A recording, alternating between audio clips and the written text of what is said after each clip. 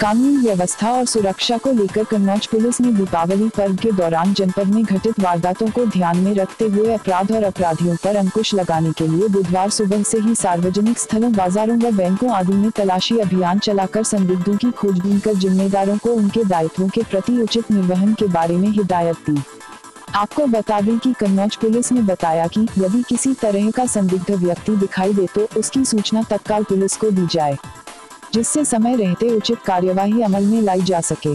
सबसे पहले अपर पुलिस अधीक्षक विनोद कुमार, क्षेत्राधिकारी श्रीकांत, प्रजापति, प्रभारी निरीक्षक विनोद मिश्रा दलबल के साथ सरायमीरा स्थित भारतीय स्टेट बैंक पहुँचे, जहाँ बैंक के सुरक्षाकर्मी व अन्य बैंक कर्मियों को आवश्यक दिशा निर्देश दिए। इसके अलावा बैंक में दिखाई देने वाले संदिग्ध व्यक्तियों से पुलिस द्वारा पूछताछ की गई।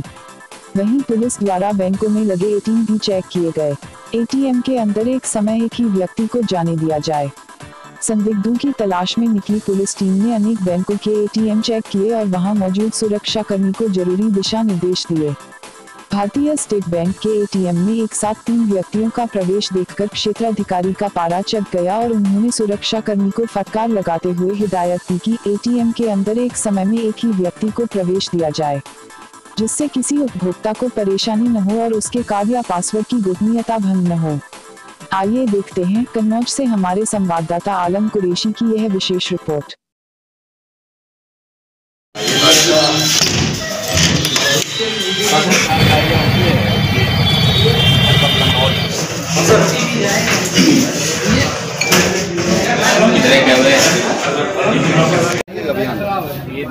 दीपावली पर्व के बाद लगभग चार दिन बाद एक साइट खुले इसमें जिन लोगों का पैसा आदान प्रदान हुआ।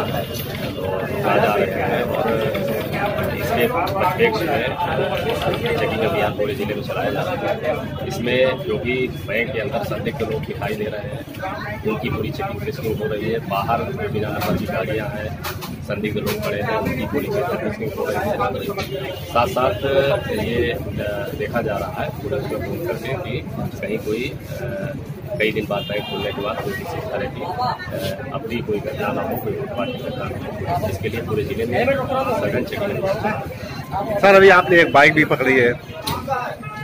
ये आ, सब तरह की चेकिंग हो रही है। मतलब अंदर भी चेकिंग टेस्टिंग हो रही है। कोई संदिग्ध ना हो। साथ साथ बाहर जो बिना नंबर की गाड़ियाँ हैं और संदिग्ध लोग हैं तीन सवारी हैं तो सबकी चेकिंग हो रही है कि कहीं किसी तरह के असामाजिक तत्व बैंक के आसपास या कहीं पर भी इस तरह के कोई मुद्दे मिलते हैं तो उन पर कार्रवाई होती है। बाहर भी इसी तरह की चेकिंग होती है।